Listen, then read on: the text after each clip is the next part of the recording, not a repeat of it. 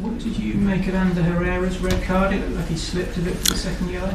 Well, I about that I just want to say uh, fantastic work from the referee.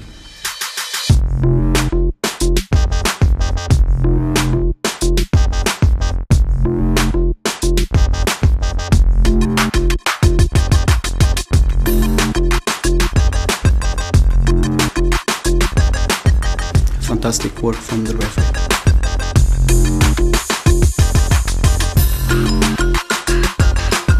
and I don't think uh, is really important.